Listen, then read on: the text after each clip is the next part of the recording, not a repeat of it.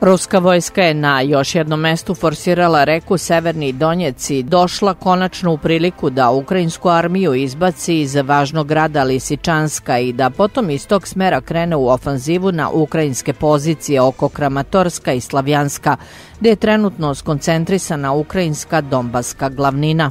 Rusi su istu reku prešli kod mesta Dolina koju su Ukrajinci grčavito branili jer je odatle samo 20 km do Slavjanska. Sa opkoljavanjem Slavjanska i Kramatorska počeće generalna bitka za Donbas, mada će sa padom Lisičanska cela Luganska republika biti oslobođena.